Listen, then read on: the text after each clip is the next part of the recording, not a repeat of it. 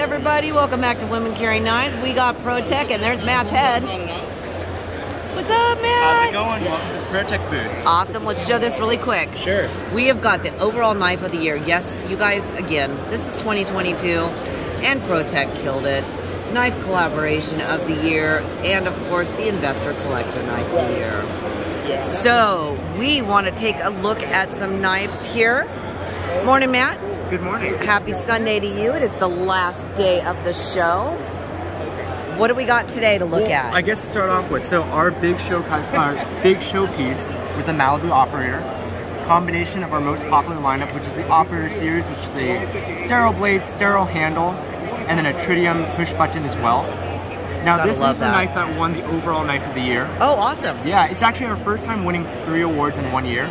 So it is a, um, we're very happy about that one. There's always an award here, though. We are. Now the one we really do try our hardest for is the Investor Collector Award. Uh-huh. That one won. It was the ATCF with a diamond button. It was Oh. Wade Wilson engraved. it's actually out there for display. Yeah. Check it out later on. I'll have to go out there add So. I believe that's our ninth time in a row winning. Our tenth time winning that award overall. Nice. So we're now in the double digits. Awesome. And then I guess, you know, it is the end of the day, but we have a few stuff set aside for Yes. the video.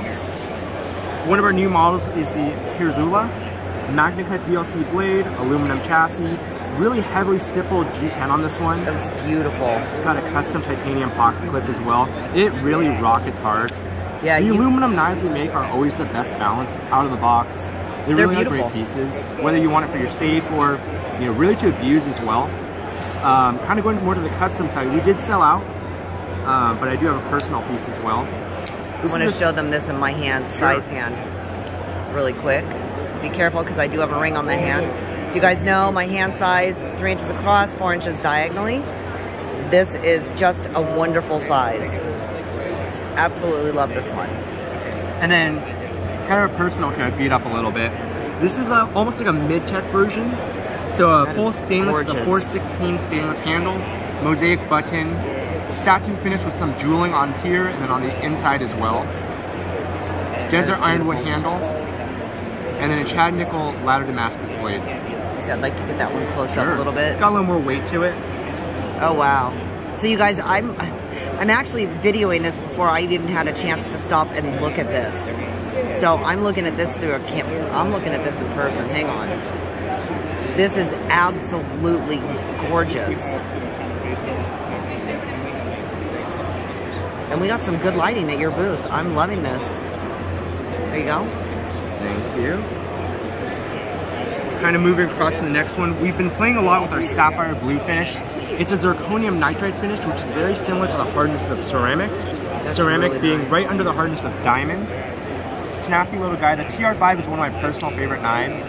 So you combine it with the sapphire blue, abalone button, fish scale, extra safety glass breaker pommel, and a deep carry pocket clip. It is one of the most functional knives in our lineup. It's one of my personal favorites. I really like that one. Me too. And the snap, all of them are very snappy. They really are. Look at that button. Look at that. Isn't that gorgeous? And that blade. Oh.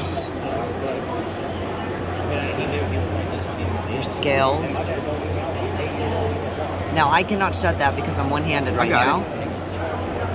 Kind of moving into the, the smaller knives we have, still equally snappy. We have two runts for this show. The Runt 5 is the fifth generation of the Runt series we've been doing. The original Runt was made on Dave's kitchen table, and to now have it in 2022 as an updated generation really does make us happy. This is a new uh, dragon scale texture we've done. Pearl button as well. That's very cool. Gives it a new look as well. A nice little landing pad for the clip. Same 20 CV blade. It's a super snappy little knife. Yes. Now, that one I did actually have a chance to play with before I started Mm-hmm. this video, and that has kick. Oh yeah. I love that one. Well, in California, we can't carry much. So for automatics, Right. it has to be two inches or under. Right. So if we're gonna carry a knife, you better have a big spring in it. And, and that, yeah. Absolutely. I have a Runt 5, and I love it. Uh huh. I know you do. Yeah. Going to the Ultimate Custom line. You guys might have actually seen this one before, but We- it's the Chad Nichols Ladder Damascus Wharncliffe blade, and then hand engraved by Bruce Shaw, yes. and then the material is aluminum bronze. Now this is something that is absolutely it being on camera this there's no way you can do this one justice. when you see this, I can show you guys this. I can zoom in on here and show you all day long. This knife is, I, am making faces back here. We always this knife is in, just incredible. We always say pieces like these are a snapshot in time. Yes. You know, these knives will live on longer than us, our kids, and their oh. kids after. But to combine, you know, the Damascus maker, our design today, the engraver who wanted to do it, it really is a piece of art. Um, and you know, one day people are going to look back at these pieces and think about when it was made and the people involved with it. It's just, I mean, it's the not, definition of functional art. It really is. It's absolutely gorgeous. I was sitting over here playing with this one for a little while, and again, the snap. Uh, well, any ProTech knife with the snap is just insane. Absolutely insane. Final piece. This is our custom Sprint. This one's in titanium. It's actually a two-tone finish. It is hard to catch in the lighting. It is. But it's a uh, 3D contour titanium handle, milled with a wave pattern, anodized blue, and then our assemblers hand satin the flats, the spines as well, and it's anodized bronze. It's a two-tone finish. This one has a different Damascus. It's Vegas Forge, Spirograph Damascus. Okay. And then a mill titanium pocket clip as well. So instead of a bent steel clip, right. this one's actually a billet of titanium the machine down. It's about a mm-hmm. 40 minute cycle just to make the clip. Yeah, I that's something every single one of these. I would love to have this one.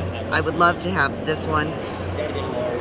Unfortunately, it's out of my range. But you do know a guy. But I do know a guy. You do know a, bo- and I, a booth. Yes, and I do know that, you know, hey, I can save up for one of these because I am absolutely in love.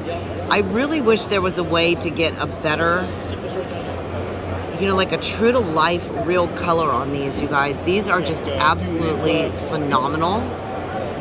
And I think the small little customs are always my favorites because you yeah. it's easier to carry with a bigger knife as well. It really You can have is. like a beater knife and then a nice little pocket jewelry knife as well. I'm trying to give you guys different angles here so you can see that. Absolutely gorgeous. So you guys, it is Sunday. How did ProTech do? Well, what's it look like how they did? Of course, they absolutely killed it because it's ProTech. Thanks, Matt, guys. thank you so much. You guys, thank you for joining me. If you have any questions, let me know. Reach out. I'll get them answered for you, and we'll see you next time.